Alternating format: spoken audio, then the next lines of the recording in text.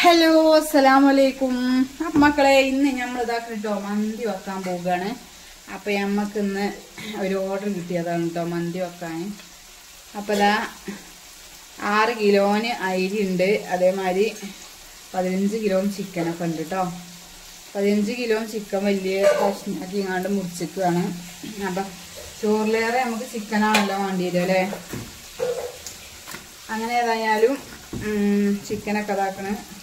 പൊരിച്ചെടുക്കുകയാണ്. മഞ്ഞപ്പൊടി മുളകും പൊടി വെളുത്തുള്ളിയും ഒക്കെ അരച്ചങ്ങാണ്ട് ഒക്കെ എന്താ നാരങ്ങ നീരൊക്കെ വെച്ച് കൂട്ടി വെച്ചത് കഴിഞ്ഞിട്ടോ.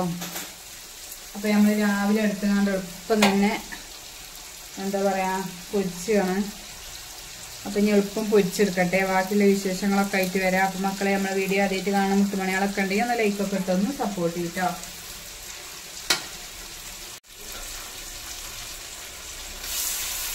നല്ലോണം പൊടിയിച്ചിട്ടൊന്നും ഇല്ല കേട്ടോ പാകത്തിന്. പിന്നെ ഒന്നങ്ങോട്ട് ചൂടാക്കിയെടുക്കുക. നല്ലോണം പൊടിയിച്ചാൽ മതി അതിന്റെ ടേസ്റ്റ് പോകും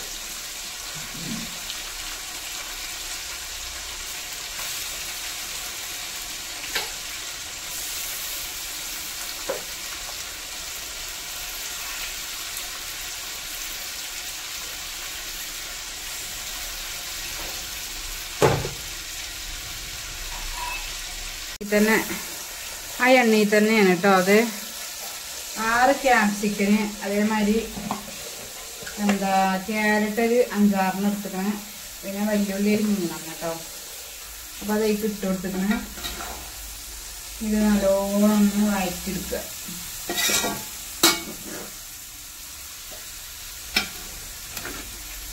ഇപ്പം മതി ആക്കി പൊട്ടിച്ചിട്ട് ശരി. പിന്നെ ഇതാക്കണം കേട്ടോ ഇഞ്ചി വെളുത്തുള്ളി പച്ചമുളക്. അപ്പം അതായിട്ട് ഇട്ട്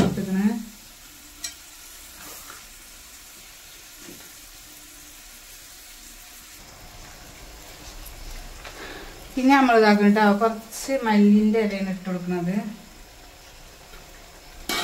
അപ്പം അതേക്ക് ഇട്ട് കൊടുത്തു.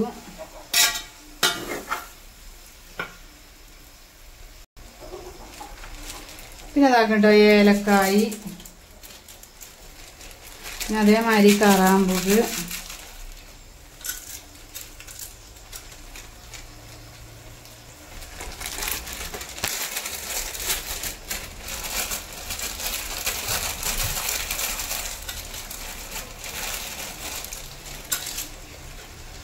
പട്ട.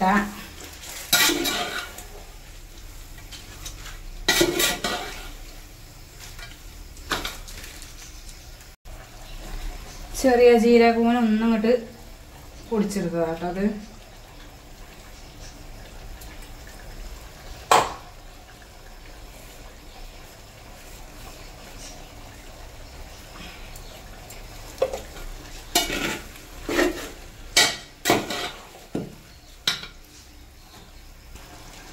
പിന്നെ പച്ചക്കുരുമുളക് കേട്ടോ.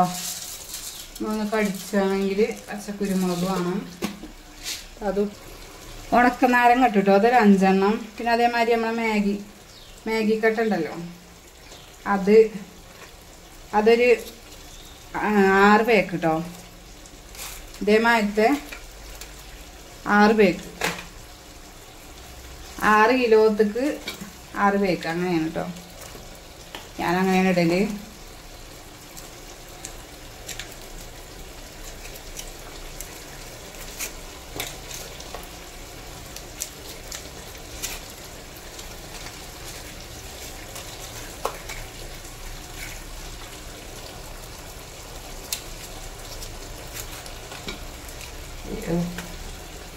അപ്പോൾ ഒക്കെ ഇട്ടു. രണ്ട് മൂന്ന് പേക്കുമാരുടെ ഇടാണ്ട്.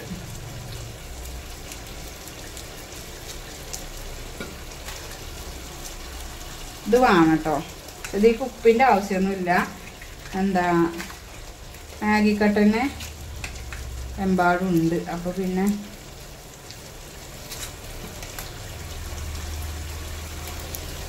നമ്മൾ ചിക്കന് എന്താ പൊരിച്ചതും അല്ലേ? അപ്പം അതിലൊക്കെ ഉപ്പുണ്ട്.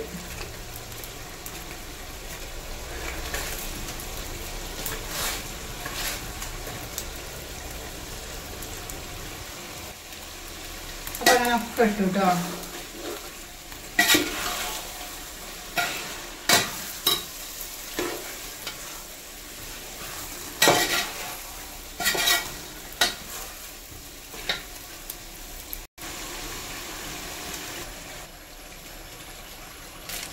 ഞാൻ മന്തിന്റെ മസാലപ്പൊടി കേട്ടോ അത്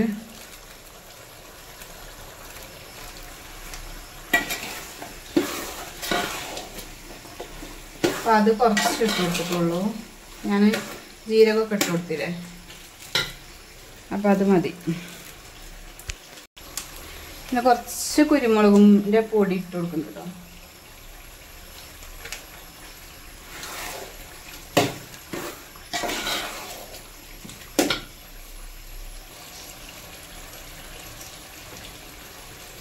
പിന്നുള്ളതാണ് ഈ സോസ് കേട്ടോ.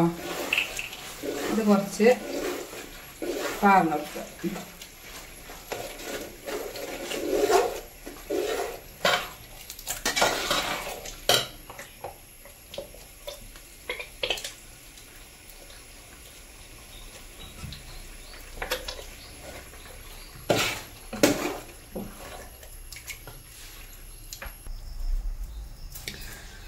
അപ്പം മക്കളെ ചിക്കന്റെ പൊരിയൊക്കെ കഴിഞ്ഞു. ഇനി നമ്മൾ കാട്ടാൻ പോകുന്നത്. എന്താ അപ്പോൾ ഈ മസാലയൊക്കെ നമുക്ക് ഇതിക്ക് കൊട്ടുക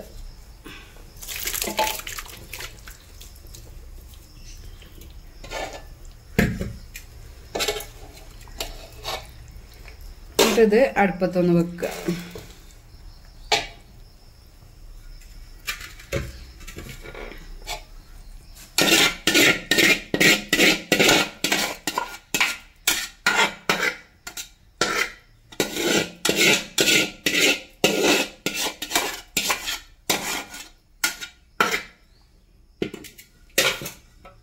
ഇനിയിപ്പോൾ ഒന്ന് ഇളക്കി കൊടുക്കണം. ഇപ്പം അത് അളക്കണമെങ്കിലാണ് പണി. അപ്പോൾ മക്കളെ ഒരുവിധമൊക്കെ അങ്ങോട്ട് ഇളക്കി കിട്ടിയേക്കണം. അപ്പോൾ ഏതായാലും കൈതേറ്റ് എന്തായാലും ഇളക്കാനിത് ഇളകൂല കണ്ടില്ലേ? ഒരുപാട് ഇറച്ചിണ്ടായോണ്ടേ. അപ്പോൾ ഞാൻ അവിടെ കടന്നൊന്നങ്ങോട്ട് ഇതാവട്ടെ.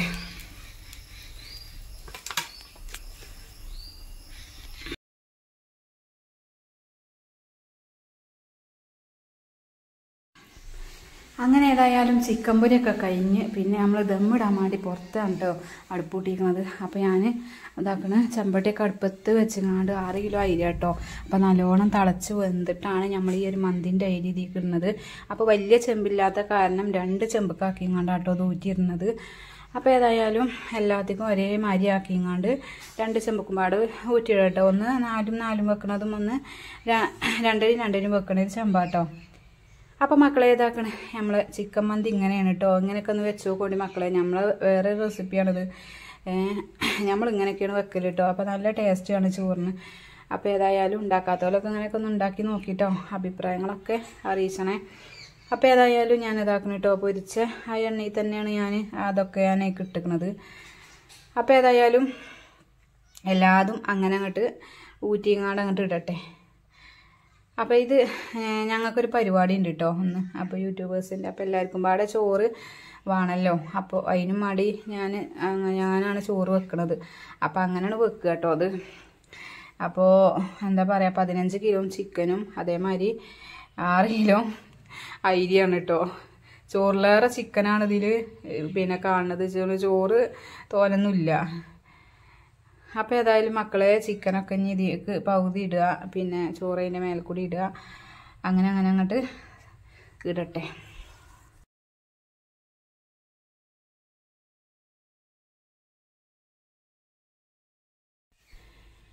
അപ്പോൾ ചോന്നൊരു ഐറ്റം അരി കേട്ടോ നല്ല വേഗമാണ് പക്ഷെ നല്ലോണം ചോറും കേട്ടോ അങ്ങനെയാണ്. അപ്പോൾ സോനിയാണ് അതിലാ മണ്ടണത്.